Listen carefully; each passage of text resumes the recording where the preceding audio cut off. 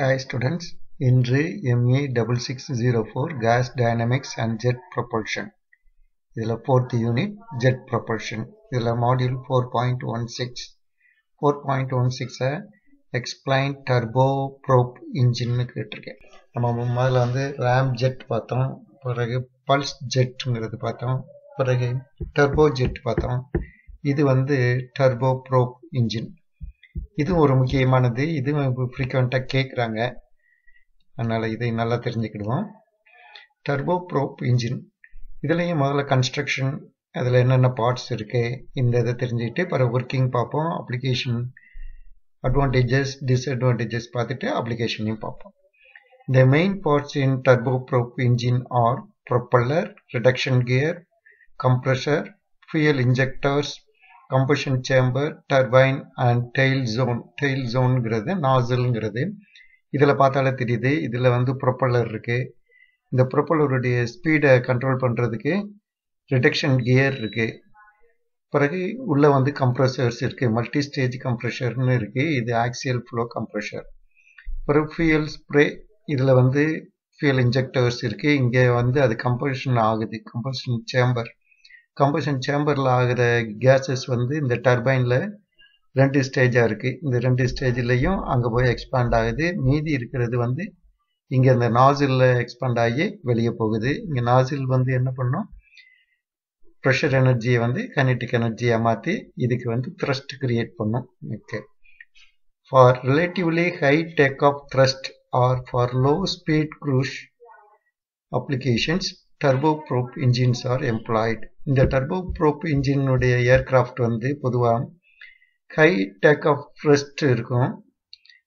For low speed cruise applications ரொம்ப speed போக வேண்டியது இல்லாத ஏர்கிராஃப்ட்ஸில் இந்த இது வைக்கிறதுக்கு வசதியாக இருக்கும்.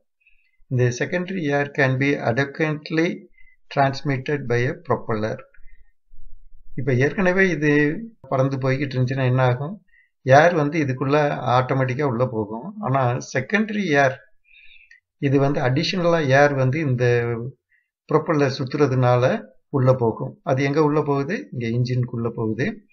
இந்த air enters the diffuser as in the turbojet and is compressed in a compressor before passing to the combustion chamber இந்த கம்ப்ரஸரில் போகிற ஏர் வந்து கம்ப்ரஸ் ஆகி எங்கே போகுது? கம்பஷன் சேம்பருக்கு போகுது. இந்த கம்ப்ரெஷர் இந்த டர்போ ப்ரோபியஸ் எசென்சியலே நான் axial flow compressor axial flow compressors தான் இருக்கும். இதில் சென்ட்ரிபிகல் கம்ப்ரெஷர்ஸ் இதெல்லாம் அவ்வளவா இருக்காது. இதுதான் முக்கியமாக இருக்கும். இந்த products of combustion ex expand இந்த second stage or multi stage turbine இதில் கம்பஷன் சேம்பரில் என்ன ஆகும் அந்த கேஸ் இக்னிட் ஆகி அது பயங்கரமாக எக்ஸ்பேண்ட் ஆகும். அதில் டெவலப் ஆகிற ஹை ப்ரெஷர் கேஸ் வந்து எங்கே எக்ஸ்பேண்ட் ஆகுது முதல்ல? டர்பைனில் எக்ஸ்பேண்ட் ஆகுது. டர்பைன் வந்து டூ ஸ்டேஜ் ஆர் மல்டி ஸ்டேஜாக இருக்கும். One stage of the turbine drives the compressor இந்த இதில் ஒரு இதில் இருந்து வர ரெண்டு டர்பைன் இங்கே இருக்குது. ரெண்டு பிளேடு தெரியுது.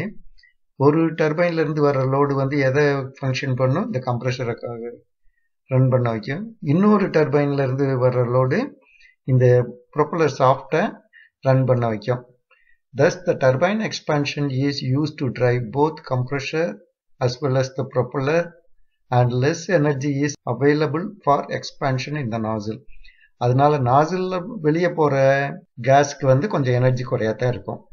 இந்த டர்போ ப்ரோப்போ பொறுத்தளவில் total thrust is equal to jet thrust plus propeller thrust இந்த ஜெட்னால உண்டாகிற த்ரஸ்ட்டும் ப்ரொப்பல்லர்னால உண்டாகிற த்ரஸ்ட் ரெண்டையும் சேர்த்து தான் நம்ம டோட்டல் த்ரஸ்ட்னு சொல்கிறோம் it's operational range is between that of propeller engines and turbo jets though it can operate in any speed up to eight hundred kilometres per hour இந்த இன்ஜின் பொதுவாக ப்ரொப்பல்லர்ஸ் மட்டும் இருக்கிற பழைய காலத்து இது இருக்கும் இல்லையா ஏரோப்ளைன் அதுக்கும் டர்போ ஜெட்ஸ் போட்டு வர்ற ஏரோப்ளைனுக்கு நடுவில் இருக்கிறாப்புல இந்த ரேஞ்சில் தான் இது இருக்கும். இது வந்து eight hundred kilometres per hour வரையிலும் போகிறதுக்கு தகுதி உள்ளதாக இருக்கும்.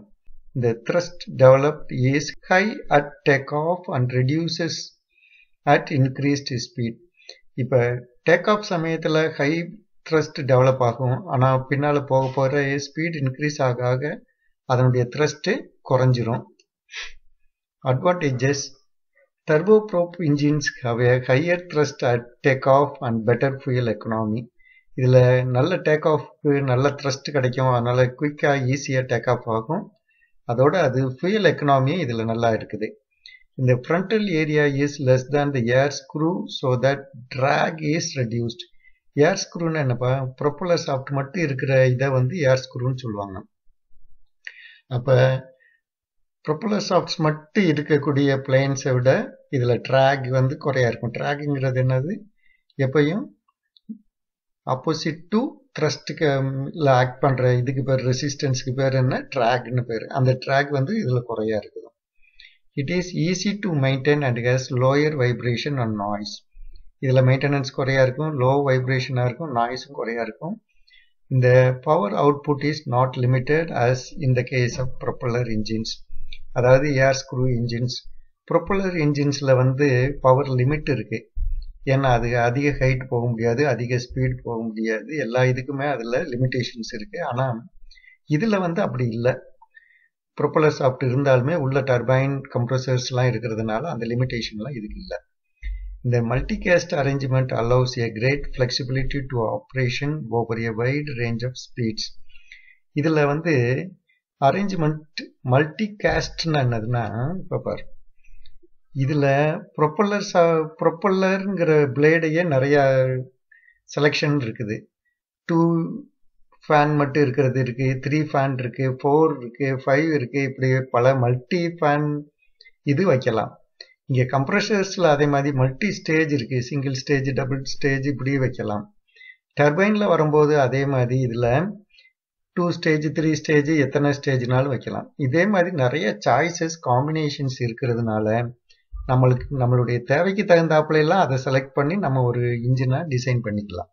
அதெல்லாம் இதில் ஒரு பெரிய அட்வான்டேஜ் அதனால இந்த wide range of speed eight hundred kilometres வரையிலும் போகக்கூடிய இதில் இருக்கிறதுல எந்த ஸ்பீடில் போகிறதுக்கான ஒரு வெஹிக்கிளை கூட இன்ஜினை நம்ம தயார் பண்ணலாம் ரெடி பண்ணிடலாம். அதனால ஒரு பெரிய அட்வான்டேஜ் இதில். Disadvantages The main disadvantage is that at high speeds due to shocks and flow separation, the propeller efficiency decreases rapidly, thereby putting up a maximum speed limit on the engine. இந்த engine வந்து eight hundred kilometres per hour தான் போகும். அதுக்கு மேலே போகாதுன்னு சொல்கிறதுக்கு முக்கியமான காரணம் இந்த ப்ரொப்பலருடைய எஃபிஷியன்சி ரொம்ப குறையிறதுனால தான். எதனால? ஷாக்னாலையும் ஃப்ளோ செப்பரேஷன்னாலையும் ஷாக்குங்கிறத நம்ம படித்தோம் நார்மல் ஷாக்குங்கிறத சில ஜெட் இன்ஜின்ஸில் நார்மல் ஷாக்குங்கிறத கம்ப்ரஷருக்கு பதிலாக யூஸ் பண்ணுறாங்க அப்படின்லாம் படித்தோம் ரேம் ஜெட்லாம் இதை யூஸ் பண்ணுறாங்க ரேம் எஃபெக்ட்லாம் பண்ணுறாங்கன்னு ஆனால் இந்த வெஹிக்கிளை பொறுத்தளவு இந்த ஏர்கிராஃப்டை பொறுத்தளவில் இது வந்து ஒரு அப்போசிட் எஃபெக்ட் கொடுக்கும். சர்டன் கண்டிஷன்ஸில் ஃப்ளோ செப்பரேஷன்ஸ் தெரியும். அதனால தான் இந்த இதில் வந்து மேக்ஸிமம் லிமிட் இருக்கு.